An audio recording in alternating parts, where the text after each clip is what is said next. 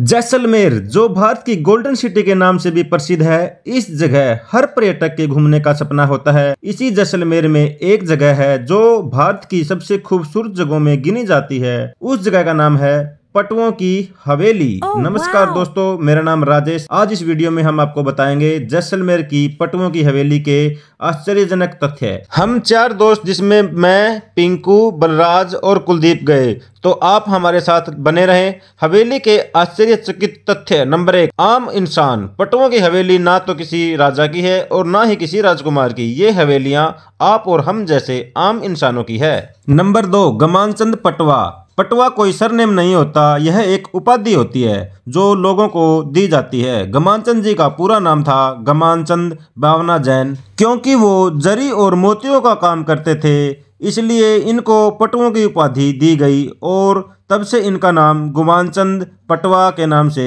जानते हैं। नंबर तीन, साठ साल। पटुओं की हवेली को बनने में लगभग साठ साल लगे, जिसमें पटुओं की हवेली में पाँच हवेलियाँ देख सकते हैं, जिसमें एक हवेली को बनने में लगभग बारह साल लगे और यह हवेलियाँ तीन पीढ़ियों ने मिलकर बनाई हैं। इन हवेलियों की सबसे खास बात यह है कि इन हवेलियों को बनाने में चूना सीमेंट और पानी किसी भी चीज़ का इस्तेमाल नहीं हुआ है। अब टिकट लेकर चलते हैं ऊपर की ओर हवेली में। नंबर चार, करेंसी। पटुओं की हवेली में पटुओं की करेंसी आज तक रखी हुई है, जिसमें आपको तांबे और लोहे से बने हुए कोड़ी, टका, बीसी, पाना, ठेला, पहिया और दमड़ी भी आपको मिल जाएगी। उसी जगह, उसी जमाने के नोट की करेंसी भी आपको देखने को मिल जाएगी। उस समय एक लाख तक का नोट भी चला करता था। कहते हैं, मारवाड़ी लोगों की चमड़ी जाए, दमड़ी ना जाए। नंबर पाँच, गुप्त तिजोरी। यहाँ पर आपको तीन तरह की तिजोरी देखने को मिल जाएगी। पहली दीवारों के अंदर, जिसका नाम होता है लोकर। दूसरी सीढ़ियों के अंदर, जिसका नाम होता है तिजोरी।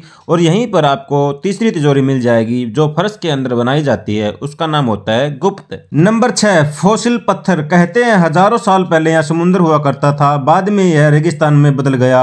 और पटुओं की हवेली में आपको उस समय का फोसिल पत्थर देखने को मिलेगा, जिसे जैसलमेर के लोग पानी में मिलाकर पीते हैं। इस पत्थर को पानी में सुबह पीने से उनकी काफ़ी बीमारियाँ, जैसे बीपी शुगर डायबिटीज़ और हृदय की बीमारियाँ दूर होती थी। और सातवें नंबर पर आता है अति सुंदर स्मारक। इस हवेली में तीन सौ पैंसठ दिन काम हुए, फिर भी एक हवेली को बनने में 12 साल लगे। यह भारत का तीसरा सुंदर स्मारक के रूप में आता है। पहला नंबर ताजमहल, जिसका पानी आने के किसी ने पहचाना था। दूसरा, गढ़ों में गढ़ चित्तौड़गढ़, बाकी सब गढ़ैया। रानियों में रानी, पद्मनी, बाकी सब पदैया और तीसरा है हमारा पटवा की हवेली। नंबर आठ, पाँच बेटे गुमानचंद बापना जी के पाँच बेटे हुए, जिनका नाम है बहादुर मल जी बापना, सवाई राम जी बापना मंगनीराम जी बापना, जोहरावर मल जी बापना और प्रताप चंद जी बापना। जिनमें से बहादुर मल जी बापना 1965 में भारत की आज़ादी के बाद अपनी हवेली को पैंसठ हज़ार रुपये में बेचकर कोटा चले गए और सवाई राम व प्रताप जी बापना ने मिलकर अपनी हवेली बजाज को बेच दी। लेकिन जो तीसरे और चौथे नंबर की हवेली उन्होंने अपनी हवेली अभी तक नहीं बेची। नंबर नौ, पालकी। पटुओं की हवेली में आपको पटुओं के जमाने की पालकी भी मिलेगी। जो कि उस समय अमीर होता था, वह पालकी में सवारी करता था। पालकी की खास बात पुरुषों वाली पालकी पर शेर तथा महिला वाली पालकी पर छतरी के निशान के साथ आपको मिलेगी। नंबर दस पर आता है ट्रेवलिंग टेंपल जैसे की नाम से ही पता चलता है, इस मंदिर को जब व्यापार पर जाना होता था, तब इसको साथ लेकर जाते थे।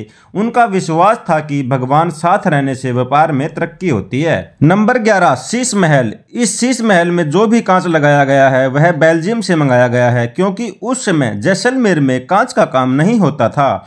इसी कांच से पटुओं की हवेली में तीन काम किए गए, जिसमें पहला सुरक्षा, दूसरा काम रोशनी को फैलाने के लिए, और तीसरा काम कुर्सी और टेबलों की सजावट के लिए किया गया। नंबर बारह, जरी और मोती पूरे भारत में राजस्थान के स्टेट स्पेशल काम के लिए भी प्रसिद्ध हैं। जयपुर आर्टिफिशियल ज्वेलरी के लिए, उदयपुर मिनिस्चर पेंटिंग के लिए और जोधपुर है अंटिक्स के लिए, वैसे ही जैसलमेर, जरी और मोतियों के लिए प्रसिद्ध है। इसीलिए यहाँ की साड़ी, सूट, सलवार और लहंगे पूरे भारत में प्रसिद्ध है। नंबर तेरह, हिसाब किताब कमरा। उस समय पटुओं की हवेली में आपको एक हिसाब किताब वाला कमरा भी देखने को मिलेगा। वहाँ पर जो कुर्सियाँ और मेज हैं, उनमें भी आपको बेल्जियम से लगाया हुआ कांच मिलेगा। यहीं पर पटवा अपना हिसाब किताब देखते थे। नंबर चौदह है, ताले। यहाँ पर आपको बहुत से ताले देखने को मिल जाते हैं। उन सभी तालों का अलग अलग नाम है। यहाँ पर एक बड़ा ताला भी है, जो हस्बैंड वाइफ ताला भी बोलते हैं, जो दो चाबियों से खुलता है, एक चाबी पति के पास, दूसरी चाबी पत्नी के पास रहती थी। उस जमाने के पटुआ बहुत अमीर होते थे तो महिलाएँ ज़्यादा खर्च करती थी, इसलिए पटुओं ने ऐसे ताले का निर्माण किया। नंबर पंद्रह, चांदी का पलंग। इस हवेली में आपको चांदी का पलंग भी मिलेगा, जो कि पूरा का पूरा चांदी का बना हुआ है। सुना है कि उस जमाने में इस पर सोने की तारों वाली चादर बिछाई जाती थी। इसकी छत पर आपको सागवान व शीशम की लकड़ी की अच्छी कारीगरी भी देखने को मिलेगी। नंबर सोलह पर मिलेगा आपको पासा। पटुओं के सोने वाले कक्ष में आपको पासा देखने को मिलेगा, जो हाथी दांत से खेला जाता था। रात को पति पत्नी जब सोने जाते थे, तब इसको खेलते थे और दिन भर की थकान से राहत पाते थे।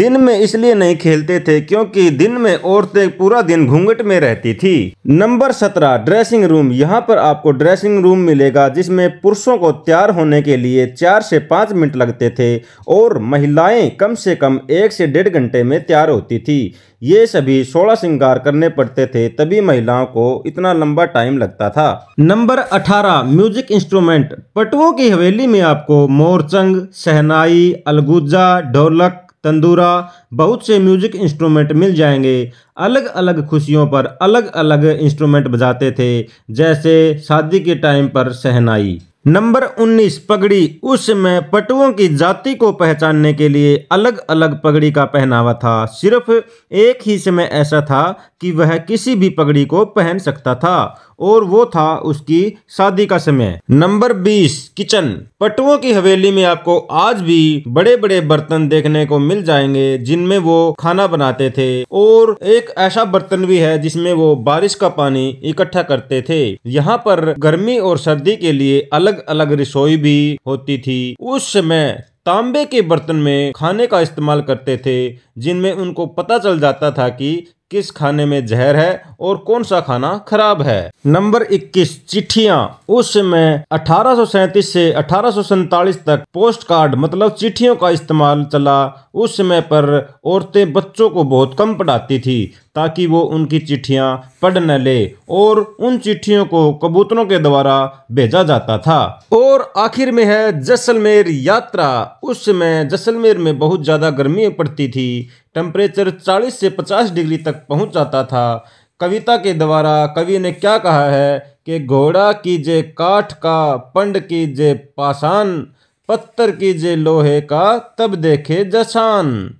इसका मतलब है कि घोड़ा होना चाहिए लकड़ी का और शरीर होना चाहिए पत्थर का और तब जाकर जैसलमेर देख सकते हैं। तो ये थे कुछ आश्चर्य तथ्य। हमारी वीडियो कैसी लगी? कमेंट में ज़रूर बताएँ। वीडियो को लाइक करें, शेयर करें, सब्सक्राइब करें। बहुत बहुत धन्यवाद।